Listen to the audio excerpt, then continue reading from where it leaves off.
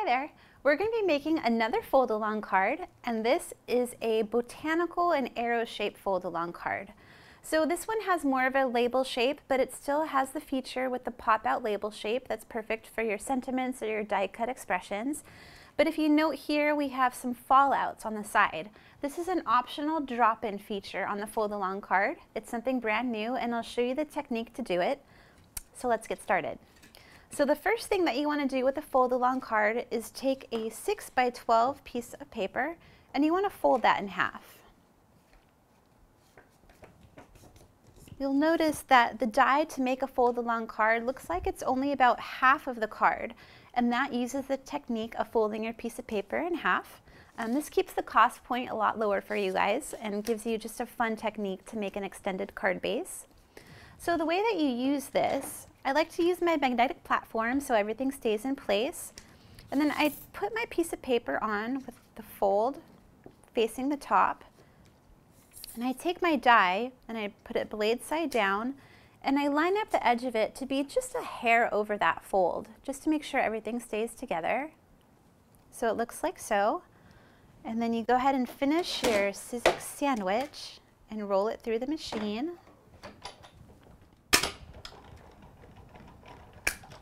And I am going to roll it through twice since I wanted to cut both pieces of paper since one piece is folded in half.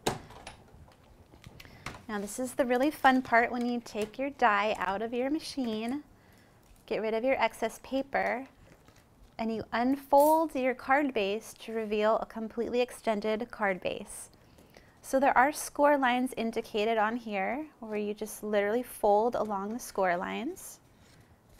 It's kind of like an accordion fold. You just want it to go up, down, up, down.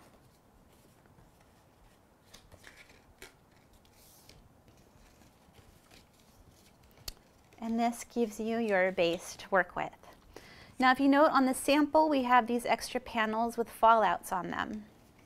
So I cut out this card a secondary time, just like so, and I'm just gonna trim these panels off so I can use them um, to add some more dimension and just have my decorative shapes fall out of them. So I will just quickly get my trimmer and line up my edges. And again, those score lines that help you fold show you right where you would want to cut. So there's one panel. You can also cut, you know, you can cut any panel and add a layering dimension to it. I'm just choosing to do the outside ones. Cut this again.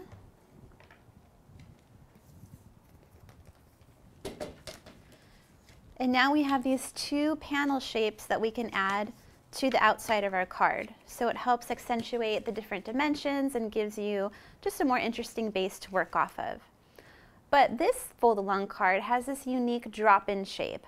So this can actually sit right on top of your label shape and help you add some more decorative features and elements to the outside. So again, you just take your panel piece that you've cut out. I'm going to use my magnetic platform and the lines on here line up just with the edge of that paper so you can see where you need to do your cuts. And you send that on through your machine.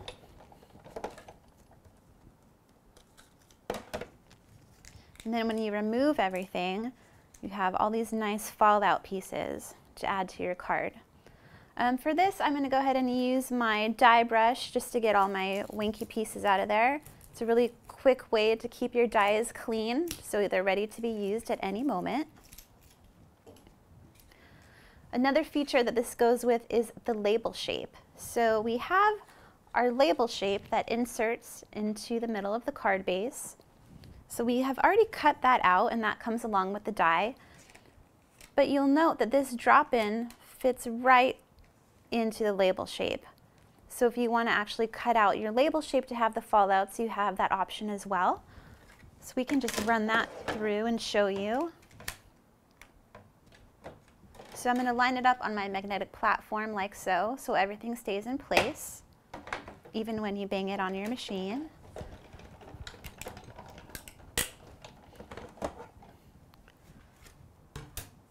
Take it off. So that gave me the one side. Now I'll just turn it over and do the other side. You see it just slides right in there and fits. And again, this is just an option, so you have um, a, more variety. You can leave it plain, you can do arrows on the outside, you can do arrows on the inner label shape, just to give you guys um, up to three options for designing the card base. So that's how it will turn out. Um, for this one, of course, I'm just going to do the outside ones. I just wanted to share that technique with you. So we will move on to decorating our outside panels. I like to add a little bit of distress ink to my panels on the outside.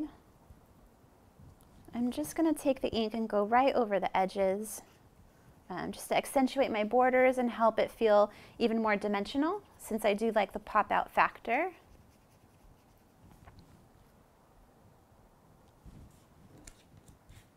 Ahead and get the other side all inked up.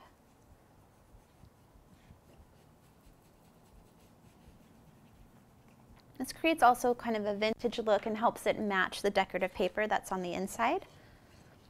So we'll just take some adhesive and put it on each panel end.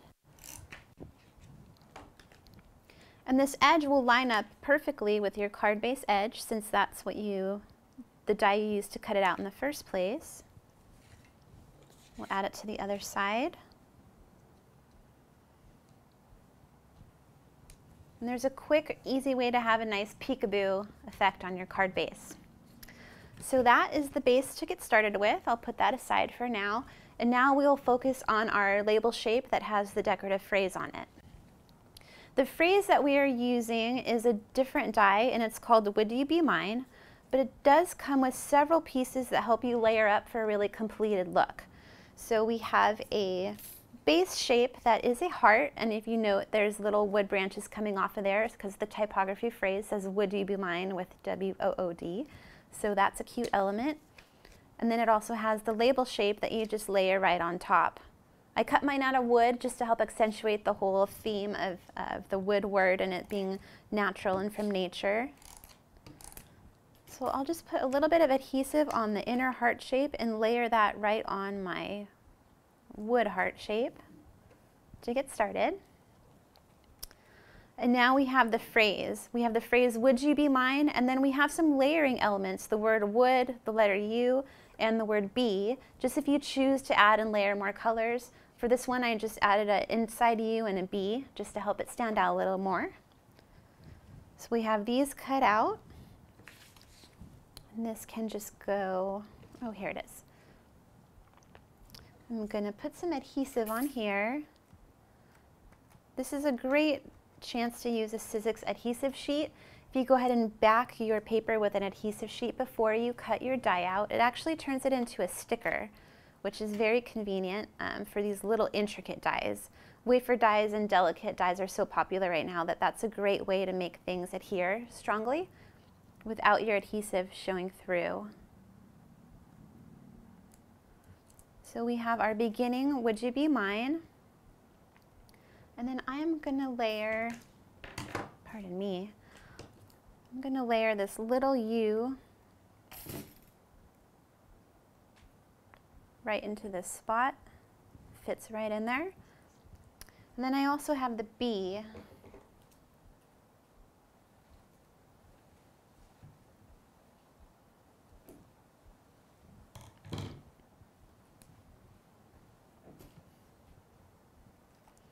So I'll add a little bit of adhesive. I will trim that off. And I will layer my E right on top. And then I will layer my B the same way.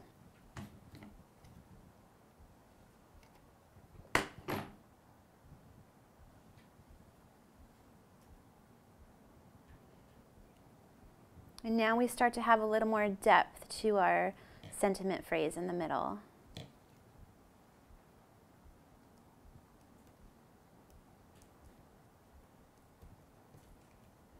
Like so. So now I will take my label shape and again I'm going to use some distress ink and just go around the edges um, to help it pop out.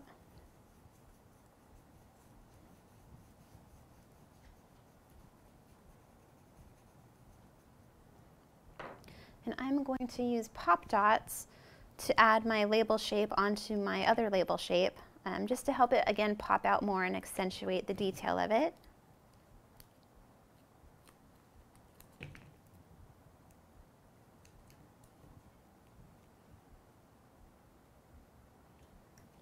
Probably a little too high. Adjustable pop dots are great. and then some final elements. I'm going to add a little ribbon at the bottom. Just tie a little bow and um, trim my edges accordingly. I'm going to grab a smaller pop dot just to put my ribbon on there. And then I just have some adhesive rhinestones to add some bullying around my tree heart. Um, it's cool, they go right on top of the berries, which is kind of fun.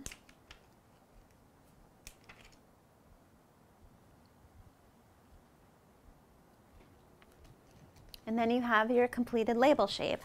And this is ready to insert into these slots here. People ask, why is there a hole in the middle of your card base? That's there so your label shape can not only fit in there without requiring adhesive, but also so it stands up and pops out. It gives you the space for your label shape to pop out and just be more fun and interactive. So this is a great card base. It uses a lot of interesting techniques and I hope you all enjoy it as much as I do.